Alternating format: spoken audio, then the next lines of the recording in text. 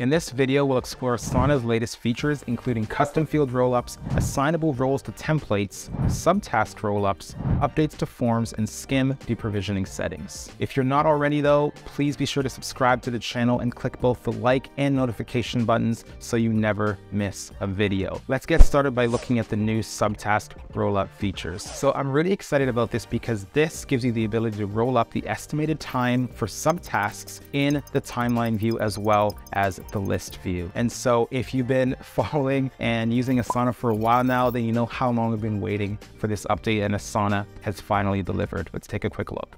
So within our very familiar web design process project, what I've done um, simply is created some subtasks off of this content creation space here. So quickly, what I want to show you, make you aware of, is that now with the estimated time rollups, you no longer need to add in a, a value in the parent task. I have all of my subtasks assigned with estimated time. And notice as soon as I close up the toggle there, it summarizes all of that information. So you no longer have to guess what's going on. You no longer have to, you know, uh, put in workarounds for subtasks. Asana has finally updated our formulas in the back end there. And then similarly, if we go to the timeline, I'm going to navigate to that same um, content creation task here, we can see that there's one subtask here that currently has a due date, but you'll notice that there are unscheduled subtasks. So let's just go in and we can add some due dates to a couple more of these,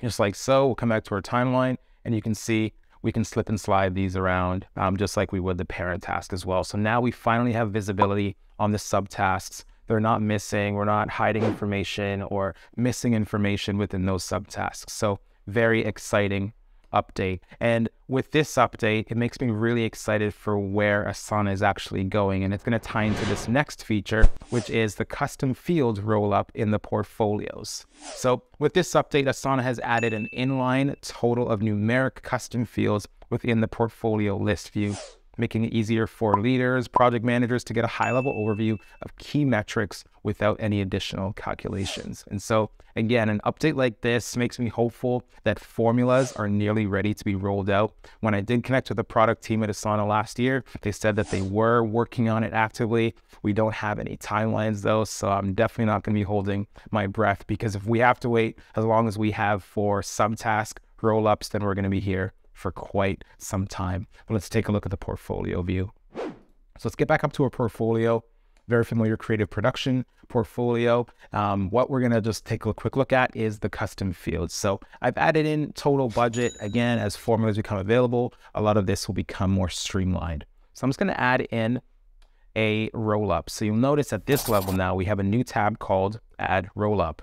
And all of the custom fields for roll up are here based on the projects that we've added in. So I'm going to bring in our estimated time and you'll notice I cannot edit this because it's rolling up again all of the estimated time from our web design process demo project. And I'll also go in, add a second roll up, and I'll call that actual time. So again, any actual time tracked with Asana's new time tracking feature. Um, I've got a video on that. Uh, if you haven't seen it, go check it out.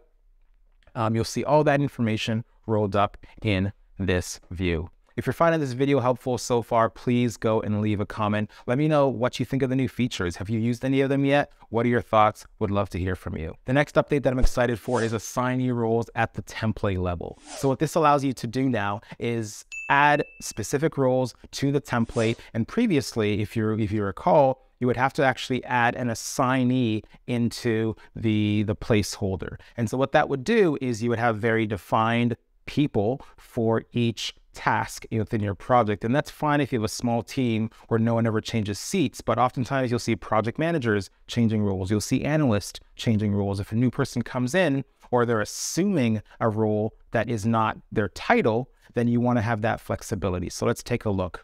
If you're not already familiar with how to create templates from projects, just click on this drop down within the project, go save as template, and Asana will do its thing in the background. But of course, I've already done all of that for us. So if we go in, you'll now notice that we can edit our templates. And I've gone ahead and I've already put in some roles, but this new section here allows us to add any roles that we want to. And so we can edit a role. I'm going to add just one more for copywriter.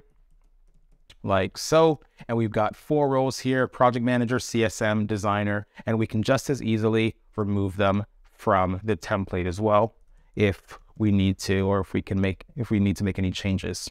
So now I want to go a step further and I actually want to edit the different roles. So you can see develop website concept. And so now instead of just assigning it to a person, we can use a project role. And so I'm going to assign that to the project manager, copy, I'm going to select all those three, and I'm going to do the same thing, assign those to the copywriter. Um, UI design is going to go to our designer. And then any copy stuff, do we have any copy here? Or any CSM rules, I should say technical setup. Let's just assume that we want to assign these to our CSM, even though it's probably not their job. Great. So now we can just click done. And now if we go new project, use from template, we can pull that in and you're going to see that we can just add the different individuals in here that are taking on these specific roles for our project. And then, no, you wouldn't be doing two. There we go. We can go to our project and you're going to see it's automatically going to pull those folks in. So again, if you have changing roles within your, your teams, you can have the flexibility to still manage these really complex projects without having to commit to specific assignees. So the next feature that I want to talk about is sections in forms. And so what this allows you to do is simply just group like questions in a more logical way. So this feature creates um, for the user a more user-friendly experience, uh, for you, more intuitive forms, and this allows you to get better responses in your forms and more accurate data. So let's take a quick look at that.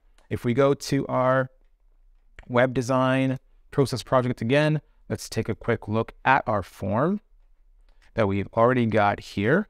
All right. And there we go. So we've got um, our name, our address, uh, email address. Um, there's a section there for us already. But if you notice, as I'm moving past each of these fields, you have the option to add a heading. So I'm going to just go in there, new heading, and this can be whatever you want to. It just depends on the kind of information you're collecting. So one way to do it is to highlight in between the, the fields. Another way is to simply uh, scroll down on the right-hand side and click Add Heading. And so headings are really great because you can now create them and move them anywhere you want within your form just to, just to kind of group, again, those like questions. And so what would be nice is if we could get, you know, a description for this because sometimes as you're going through, you want to have the flexibility to um, provide additional instructions, let's say. And so I'm sure that will be coming uh, really, really soon. But for now, you just have the option to add that heading right in there. The last update that I want to talk about is SCIM deprovisioning settings. And so this is for all of you super admins and IT managers out there. And this update allows you to assign a specific super admin to be the project owner of any deprovisioned users open and previously completed tasks. And so this makes it really easy if you are syncing to the Active Directory. It makes that process easier, uh, knowing that specific owners can be assigned within your admin console. So if you're not familiar with the admin console already, you're going to click on your profile up here and open up the admin console like so. And so you want to go down to security and then scroll down to SCIM related settings and click on member removal settings. And so now you can choose all super admins, or you can choose a specific super admin and include those completed tasks within the project. It's that easy. So previously, if you were not connected to the Active Directory, you would have to do this all manually when you're removing someone from the organization, but now it can be done all for you. And so that wraps up on Asana's new features for March and April 2023. Do not forget to subscribe to the channel for more updates on the latest software features and tips for maximizing productivity. And if you have a question, leave me a comment. I would love to hear from you. Thanks as always for watching. I'll see you in the next video.